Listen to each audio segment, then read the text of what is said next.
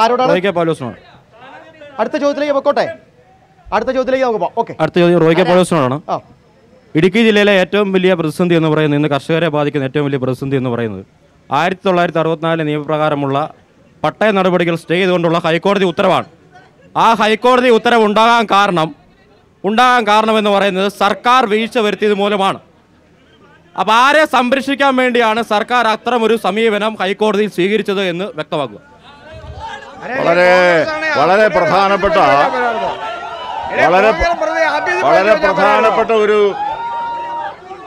വളരെ എന്ന് മറുപടി പറഞ്ഞോട്ടെ മറുപടി പറഞ്ഞോട്ടെ മറു- മറുപടി മറുപടി മറുപടി പറഞ്ഞോട്ടെ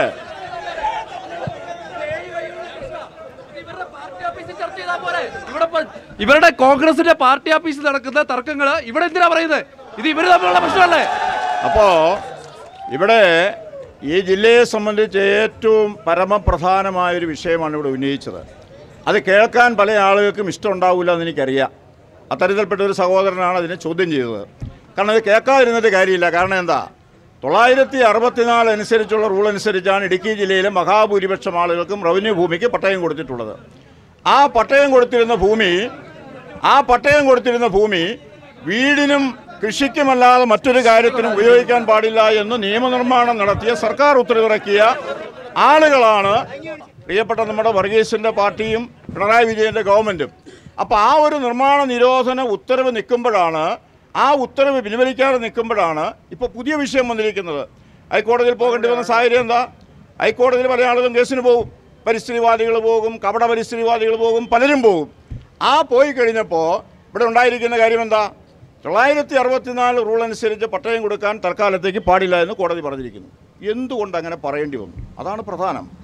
ആ കോടതി ആ ഒന്ന് ഒന്ന് കേൾക്കട്ടെ ചങ്ങാതി. ഒന്ന് പറ ഒന്ന് ഒന്ന് കേക്ക് ചങ്ങാതി. നിങ്ങളൊന്ന് കേക്ക് ചങ്ങാതി. സാമാന്യ മര്യാദ കാണിക്കുക സാമാന്യ മര്യാദ കാണിക്കുക സാമാന്യ മര്യാദ കാണിക്കുക കേട്ടോ സാമാന്യ മര്യാദ കാണിക്കുക കേട്ടോ സാമാന്യ മര്യാദ കാണിക്കുക അപ്പോൾ കോടതിയിൽ ഈ വിഷയം വന്നപ്പോൾ കോടതിയിൽ ഈ വിഷയം വന്നപ്പോൾ ഗവൺമെന്റിനോട് സത്യവാങ്മൂലം ഫയൽ ചെയ്യാൻ ഏത് കോടതിയിൽ ഏത് കേസ് വന്നാലും ഗവൺമെന്റിനോട് ആവശ്യപ്പെടും. ഗവൺമെന്റിനോട് ഈ കേസിലും ആവശ്യപ്പെട്ടു. സർക്കാർ എന്താ ചെയ്തത്? പിണറായി വിജയന്റെ ഗവൺമെന്റ് എന്താ ചെയ്തത്? പിണറായി വിജയന്റെ ഗവൺമെന്റ് സത്യവാങ്മൂലം ഇത് സംബന്ധിച്ച് സത്യസന്ധമായി കൊടുത്തില്ല. കൊടുക്കാതിരുന്നതിന്റെ കാര്യം എന്താ കൊടുക്കാതിരുന്നതിന്റെ കാര്യം എന്ന് പറയുന്നത് ഇടത് ഇടതുപക്ഷ ജനാധിപത്യ മുന്നണിയിൽപ്പെട്ട പല പ്രധാനപ്പെട്ട നേതാക്കന്മാരും ഇടുക്കി ജില്ലയിലെ സർക്കാർ ഭൂമി കയ്യേറി കള്ളപ്പട്ടയം ഉണ്ടാക്കിയിട്ടുണ്ട് അവിടെ നിർമ്മിതികൾ നടത്തിയിട്ടുണ്ട് ആളുകൾക്ക് മറിച്ചു വിറ്റിട്ടുണ്ട്. പല ജനപ്രതിനിധികൾ. പല ജനപ്രതിനിധികൾ ഉൾപ്പെടെ. പേരെടുത്ത് പറയാം പേരെടുത്ത് പറയാം. പേരെടുത്ത് പറയാം പേരെടുത്ത് പറയാം. പേരെടുത്ത് പറയാം. പേരെടുത്ത് ഞാൻ പറയാന്നേ നിങ്ങൾ